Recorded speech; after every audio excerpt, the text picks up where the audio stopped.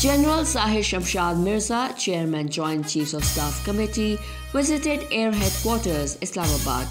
On his arrival, the visiting dignitary was received by Air Chief Marshal Zaheer Ahmed Baber Sidhu, Chief of the Air Staff, Pakistan Air Force.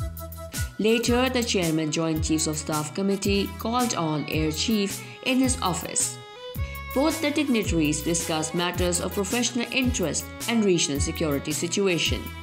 The Air Chief briefed the visiting dignitary about various ongoing projects being carried out by Pakistan Air Force with special focus on modernization and development of indigenous capabilities.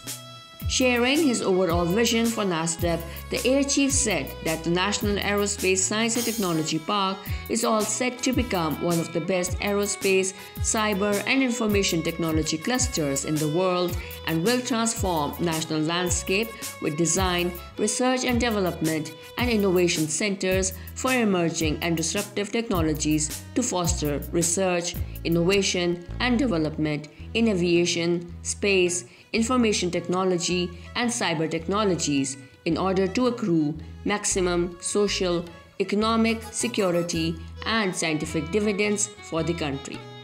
The Air Chief also reiterated the Pakistan Air Force's unwavering determination to work in close cooperation with the sister services to ensure a resilient and secure defense of Pakistan. Chairman Joint Chiefs of Staff Committee appreciated the advancement of Pakistan Air Force under the current leadership through the induction of cutting-edge niche and disruptive technologies in cyber, aerospace, and artificial intelligence domains.